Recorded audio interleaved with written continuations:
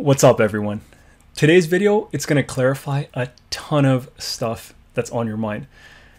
Mostafa Asal, he is an awesome player, an awesome athlete, but as you know, he has a ton of controversy surrounding him. So what I aim to do in this video is break out his movement. Get ready guys, let's get into this. First things first, I want to put some context into this discussion and I want to be clear that this is a controversial topic and some of us have differing opinions, but please be respectful when you are communicating about it. Everyone is entitled to their own opinion. I don't I aim for the comments to not get heated and disrespectful. Share your opinion, share your perspective, but please do it with respect. And when someone else's perspective and opinion differs, let's have a respectful conversation about it. The next point, and this is point number three, is that anything that I'm sharing and your opinions with respect are only hypotheses. We do not know what Mostafa Asal is actually doing. We can have a sense of what we think he's doing, but no one knows unless we have that conversation with him and he tells us up front. So again, this is only a hypothesis. I personally believe that he deliberately does use his body to give him an advantage.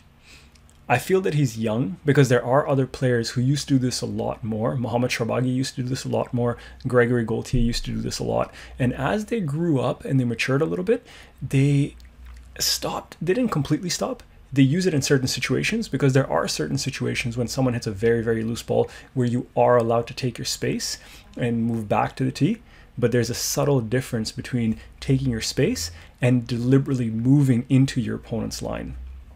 But my point being that guys like Mohamed Shorbagy and Gregory Gaultier and some others, over time as they matured, actually seized that activity. And I think in time, Mostafa Asal will probably realize that he doesn't need to use his body the way he does right now in not just where it's legit and where he's where he's in the right position and should or could use it, but in places, basically in every shot, he's doing something subtle as soon as the opportunity presents itself. But I'm going to talk more about that in a minute. What I think we need to do, and this is point number five, is that because he is so talented and because he is young, I feel that if we can provide positive encouragement more about his gameplay as opposed to putting down the negative side of it, it's going to create more energy and momentum in favor of whatever we promote. So the idea is if we're always talking negatively about his movement and we're talking negatively about his attitude, well, he's going to feed off of that negativity because he's getting attention. If, however, we focus on the positive side of it and we encourage the awesome gameplay and the tactics and the shot making and the power and the agility and the speed and the athleticism, well, then maybe he'll focus on playing that style of game. I also feel that a mentor, someone like Rami Ashour, for example, would be phenomenal in helping us all bloom into a very, very fair player. And speaking of Rami, I'm going to show you a couple of comparative movements near the end of this video.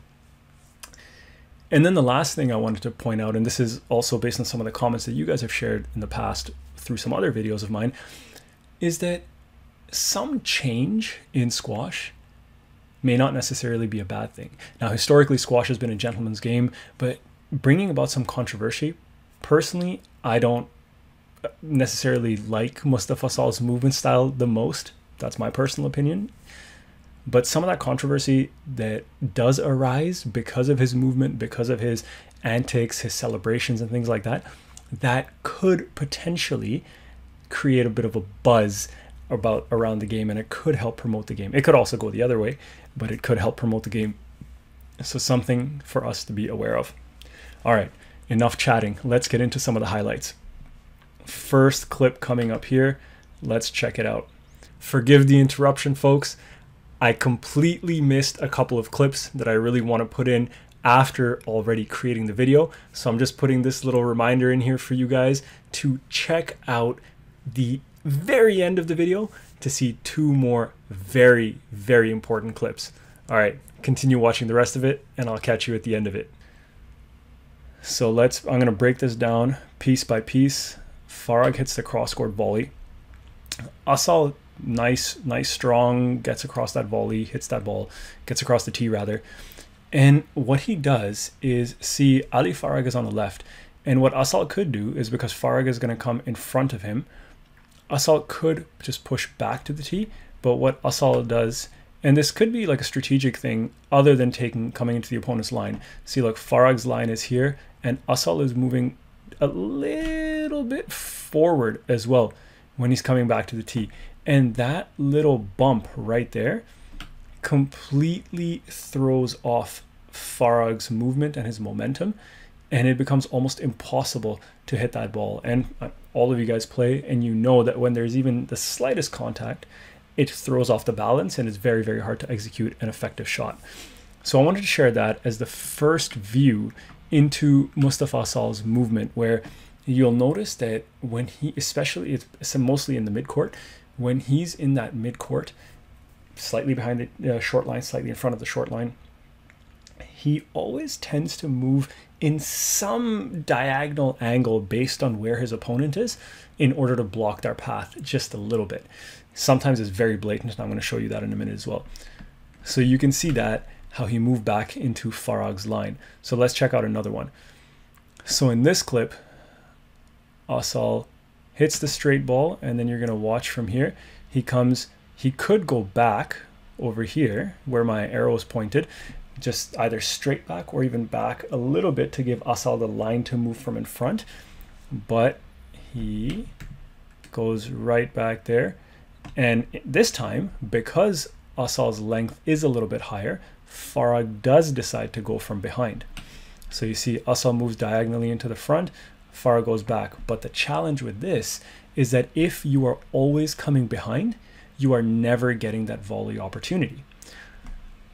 It's a losing position. You cannot consistently move behind your opponent. So you need to be able to push in front of them. But if your opponent is hitting, so this is Asal and this is Farag, Asal hits and he moves this way back to the tee. Well, now he's in Farag's line to the ball. However, if Asal moves across, Farag can go in front and then he can actually get on the ball.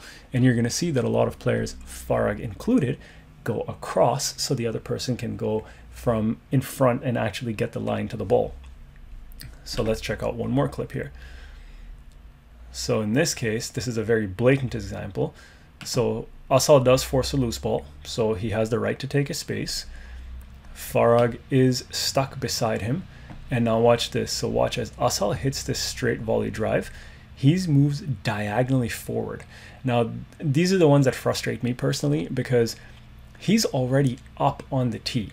Okay, he can hit this ball and just move straight across to the tee, and he's still in the tee position that he would naturally play with. And then Farag can move from in front of him. But now, watch what he does. Watch this right foot, the white shoe. It continues to go forward, and then he also steps forward sideways into Farag's line. And now Farag has no way to go anywhere. And I make this point because this is not a natural tee position. In a match, you will never see Asal literally standing on the physical tee. He's always standing behind the tee, especially when the game's being played in the mid and back court. So this is just a blatant example to show you what he's doing. And I'm going to show you that one more time so you can watch it from the start. So he sets up, he knows where Farag is, he widens the stance, watch that right foot, the white shoe, and look how that right shoe comes forward and then his entire body leans forward into this unnatural T position to block Farag out. And then at the Farag goes and gets the ball, there's a ton of contact, throws a balance off, and this was in this rally, you can't see it here, but Farag is just staring at Asal because he's like, what the heck are you doing? Because that is unnatural movement and unnecessary, truthfully. Now let's check this out. Here's where I'm going to show you that Asal is not always at fault. Now in this situation, one is a little bit close up, the one's a bit further, and the clip on the right, you're going to get it zoomed in shortly. He's hitting from a very similar position with his front foot. He's hitting the same shot, it's a straight drop. He's under more pressure, like he's more stretched out in the clip on the left. He's not stretched out in the clip on the right.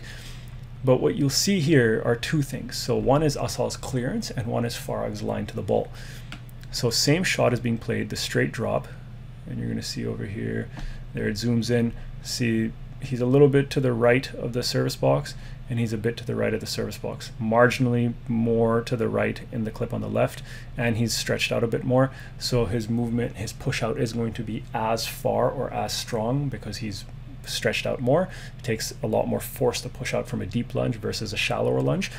And he's a little bit closer to the wall in the clip on the left. So I'm not expecting him to move as far back uh, in the clip on the left and that's essentially what we see. So you see over here Asal moves back and he gets to just be behind or beside the service box edge and then the clip on the right where he wasn't as close to the sidewall and he wasn't under as much pressure he gets you know a good foot foot or so to the side of the service box.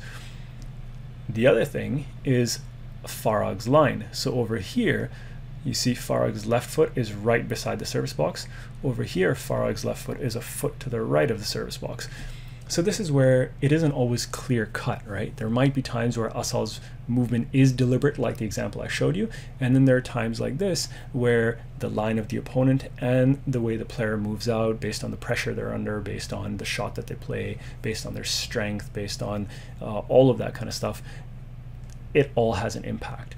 So I wanted to show you this because it clearly shows that, you know, there are many, many factors at play and it isn't always malicious. So now I want to show you a cool comparison here. So Mostafa Asal and Ali Farag uh, are both playing the same shot in this example, and it's the straight volley drive. And what you're going to see is the same thing I de demonstrated before. So Asal hits and he pushes back into Farag's line, and you're going to notice Farag does something very different. So Farag, notice he moves back and across so that Asal can actually go through and play his shot. Notice how Farag moved there. So I'm going to play this again for you guys. So check this out. Asal hits. We're going to focus on him first. He hits and moves diagonally back to the tee while his body's leaning forward, contact with Farag. And now let's quickly watch Farag. Farag hits, and watch he moves back giving Asal the line. And then after moving back Farag moves forward to step up onto the tee. That's clean movement giving your opponent a path to the ball. And that makes for free flowing squash. It's actually in your favor to do that because you're now making your opponent do a ton of work by making Asal in, the, in this example do the diagonal and then Farag can get on the next ball when Asal is under pressure in the back. So it can actually be in your favor to get out of the way, let your opponent go and play the ball. So now let's move on from here to the next clip. Now this clip I found really, really interesting because he's playing on the forehand side in both examples. But what you're going to see is that there's some distinct similarities between his movement in the two videos, and then there are distinct differences. So what I want you guys to think about are the similarities. I'm going to share the differences right now. So let's check this out. The clip on the left, Asal is playing a high forehand volley drive. The clip on the right, he's playing a drop shot. So watch this. Just like the example of the backhand I showed you guys earlier, in this one, he plays the high forehand straight volley drive, and then look at his movement. Straight diagonally back into Farag's line and there see that left leg literally is extended forward to get into Farag's way and then he moves his body there Farag trips over the leg and then he's off balance. Now if you look at the clip on the right watch him. He plays the drop shot and then look his momentum goes to the right side which is in the same direction as the drop shot. So the part that like this blows my mind because players hit the ball and then they push back to the tee, right? Why, Farag being the strong guy that he is, why is he hitting the forehand and then leaning forward towards the right wall? Well, it's to get into Ali Farag's line of movement. So this is pretty annoying. The, those are the differences. He hits the forehand and then pushes back on the volley to get back to the tee, back and actually diagonally towards Ali Farag's line. In the clip on the right, he hits the forehand and then leans forward to get into Ali Farag's line.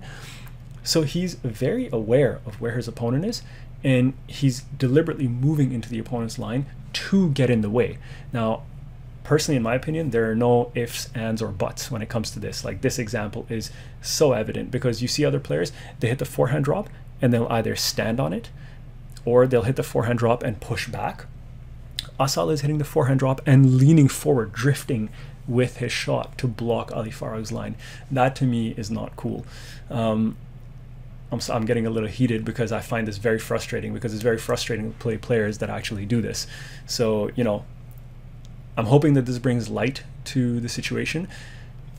Truthfully, this is like credit to Mostafa Asal because this is a very difficult skill. His awareness of, of his opponent on court is phenomenal to be able to make these subtle movements in order to get in their way. What I'm hoping is that he can take the time and the energy and the effort and the awareness and the skill that he has and channel it in a positive way because he will be unstoppable if he does that. He has all of the tools. He needs to just apply it all in a positive way and focus on the actual squash and not on this stuff. My opinion, you may disagree, and please share a comment if you do. Let's have a respectful discussion about it. And I wanted to show you guys one more example just from another player, which I thought you guys might enjoy. Here's Rami. So this is the same example I showed you on the left of Asal, where he hits and moves diagonally forward into Ali Farag's line, and then watch Rami. And it's so cool because Farag is playing Rami in the clip on the right, and Farag is playing Asala on the clip on the left. And watch Rami's movement. You've already seen the clip on the left, so let's focus on the clip on the right. So Rami hits, and then he pushes back and slightly to the right, well, to the right and slightly back. And what does that do? It allows Ali Farag through. And notice Farag has to do all of this tremendous work. Over here in the clip on the left, Farag is still doing tremendous work, but there's all this unnecessary contact. The situation for Asal can actually turn against him because referees, when they start seeing this, are going to start awarding conduct strokes against him, giving his opponent the points for this deliberate blocking. So, another reason to really channel all of this skill and this awareness and this talent into a positive way. And now, watch this as well. Ramy Ashour, because he simply played his ball and he moved back towards the tee, not diagonally forward, but just across and even a bit further back to give Ali Farag the line, look how Ramy's standing. He's standing like he would naturally with a slight body lean. Look at Asal. He's totally angled to the side because he's deliberately made his body wider to get into Ali Farag's way. So in my opinion, not really cool. Okay, enough of the clips. I just want to have a positive, constructive discussion for a minute. So, what can be done about this? Like, what can we do? First thing I want to talk about philosophy of controllable versus uncontrollable variables. Now, when this come, what I'm talking about here is there are certain things that we can control, such as our preparation, our sleep, our fitness training, our recovery, our uh, nutrition, our hydration, etc. And then there are uncontrollable factors, the things that our opponent does, the any slippery conditions on court, the referee's decisions, things along those lines. What we need to do is focus on the controllable factors and focus on creating anchors and being mindful on the court so that when things don't go in our favor or when people do things that are not cool, we don't lose it. So that's high level philosophy that I really, really want to try to drive home. Number two, I think that referees have to act decisively immediately and be very firm in what they say and what they do and the actions they take when players start blocking. And maybe referees could watch a video like this to see they probably already know. I mean, I'm not trying to educate referees or, or question anyone's abilities, but sometimes it's tricky to see the nuances unless you've played at that level. It's very hard to see the nuances. The other thing, I mean, for referees, I, I have to give them a shout out because the job of referee is incredibly difficult. See, we're watching this in slow motion. The referees have to see this in real speed they have the pressure of the audience they have the pressure of the players they have the fact that this is the player's livelihood that pressure on their mind and they have to make the correct decision in a split second. That is not easy. So credit the referees and thank you to the referees for doing such a phenomenal job and doing the best that they possibly can. Now if the referees do act firmly and swiftly right at the beginning the first instance of any kind of blocking conduct warning the player will not do that again because then they know they were they're going to start losing points right away. So that I think is really really critical. The third piece is that when players hit loose balls, anything in the middle of the court, it makes it very simple for your opponent to take that space. So if you fluff up a loose ball, if your length is loose, the other player has they have some degree of a right to take some space. Now that doesn't mean making yourself huge at getting into the line of your opponent, but it does mean taking a bit of space and hitting the ball because you've given them a super loose ball. So we have to ensure that we hit our targets and get our length into the back of the court to prevent this sort of behavior. There is something that some players do, which is when they're feeling like they're being blocked a lot deliberately, they get very aggressive. So they deliberately then the next time they get blocked, they deliberately go and almost tackle the other person to get in their heads that hey, don't pull this kind of BS on me. I'm gonna go through you if you're gonna do this with me. I'm not condoning that kind of behavior because I think getting that aggressive takes away from the fun and the spirit of the game. Um, at the highest levels, it, it is their livelihood, and as you all know, squash doesn't have a ton of money, so people, you know, do things because they're not just playing for fun; they're playing to put food on their tables. So that's a that's a difficult one. I personally don't like the whole aggressive confrontational sort of thing because it takes away the fun of the game and the love of the game it gets removed at least for me personally everyone's different. And the last thing I think is that we need to lead by example. We need to maybe highlight some of the role models and highlight some of the awesome players in the clean games so that people get inspired by that and people enjoy and appreciate that. And then players who do block and who do kind of engage in some of these shady or you know less than desirable activities, maybe they'll realize that hey, maybe I do want to play cleanly so that people admire me more and people want to watch me play more or there isn't as much controversy and things along those lines. So ladies and gentlemen, that is my my take on some of Mostafa Asal's sketchy movement as I put it. And again, I'm not saying this this video is not a negative critical thing about Mostafa Asal. It's something where I want to highlight the facts. I want to share my perspective. I want to share the differences between how one can move cleanly versus not move cleanly. And then I did want to have a bit of a productive conversation around what we can do to try and minimize this sort of movement. So as always, if you enjoyed the video, please give it a thumbs up. Please subscribe to the channel if you haven't done so and share it with any other squash enthusiasts who might enjoy this sort of a discussion. And uh, as always, leave a comment I hope we have a very constructive, positive, respectful discussion on this video. And I will check you guys out in the next one. Take care. So here we are, final two clips that I really want to share with you guys. One of them highlights something that I find funny because I try to take the amusing perspective as opposed to getting frustrated. And then the other one actually shows that Mostafa Asal can clear exactly how we talked about earlier in the video. So check this out. Same from the same match, Ali Farag and Mostafa Asal from the British Open, uh, recent one, 2021 quarterfinal. So this clip here, Mostafa Asal hits, and then he moves back into Ali Farag's line, and clearly Farag is not happy. And you're gonna get to see this again in a second. And then I, I love how Asal plays innocent. So check this out. It's gonna show you from a different angle now. So Farag hits. And now, if you remember from the previous clip that I shared with you guys, in this exact same position, there was one difference. Instead of Farag being behind Asal, Farag was beside Asal and he was kind of coming in to take this line to the ball.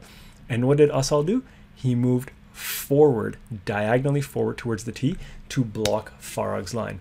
So let's test you guys. What do you think Asal will do here if he wants to get in Farag's way? he's going to move back a little bit because now he's getting into Farag's line because Farag is behind him. And let's see, check this out here. I'm going to go really slowly.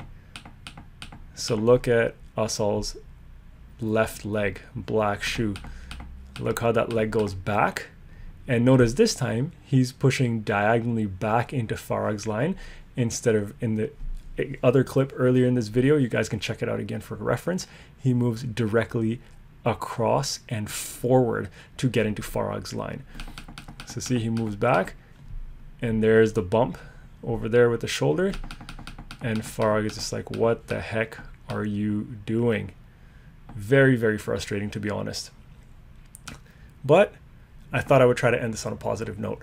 So check this out. Asal hits, and now look how he moved out there. He moved directly to the left, exactly like we've been talking about. So let me show you this one again.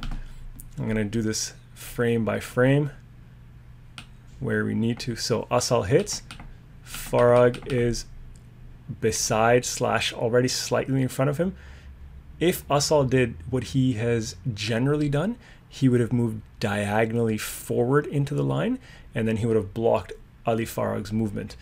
In this case, notice his left foot and his body goes directly across to the tee. Check it out, right there. And Farag is actually able to move from in front of him. That is how he could be moving all the time. And the previous clip I just showed you is such a potent reminder and indicator of the fact that Mostafa Asal is so aware of where his opponent is. When Ali Farag was in front, he moved back to the tee diagonally forward. When Ali Farag is behind, he moves back to the tee diagonally backwards. He's deliberately getting into Farag's line. But I want to end with this one because you can see that he does have the ability to completely clear the ball and Ali Farag's path as well. I'm going to leave it on that note. Thank you for viewing and thank you for your support. I'll check you guys out in the next video.